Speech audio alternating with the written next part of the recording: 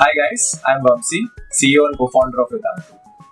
If you guys are in standard 9th to 12th, or in fact past 12th and thinking of dropping, we have something amazing for you. Vedantu is proud to present Vedantu Scholarship Test, or VSAT in short, one of the India's biggest online aptitude tests. As part of VSAT, Vedantu will be giving away 1 crore worth of scholarships. Yes, you heard that right.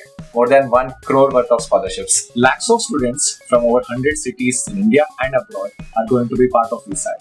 And the best part is, you don't have to travel or pay for this. It is completely free and online. As part of VSAT, every participant will also be receiving your VSAT rank among all the participants who will be giving this test. The test is going to happen on 17 June, which is a Sunday at 3 pm. So you can register for the same by clicking on the link below given in the description. So remember the date 17 June, Sunday 3 pm. So see you all in the test. All the very best.